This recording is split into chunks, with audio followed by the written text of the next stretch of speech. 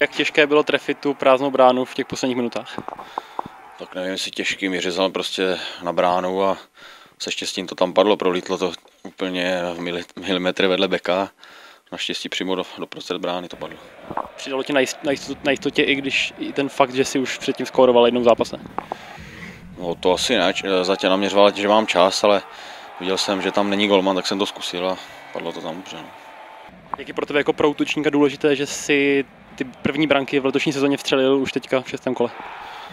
No už měl jsem i zápasy předtím šance a já jsem rád, že už to tam padlo, protože určitě se s tím hraje líp, když má člověk góly na svém kontě a je lehčí, hraje se mu uvolněnějíc a je to pro hráče lepší, no, když má nějaký góly a hraje se mu určitě líp.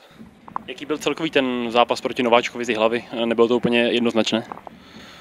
Tak v první třetina z naší strany byla oproti předchozím zápasům, co jsme hráli doma, jednoznačně nejlepší. To jsme, myslím, přehrávali i ten výsledek 3-0 potom, že to jsme dali ve, tři, ve druhé třetině a bohužel pak jsme začali hrát nahoru dolů, nevím proč, to i hlavy vyhovovalo a málem jsme měli co dělat. No.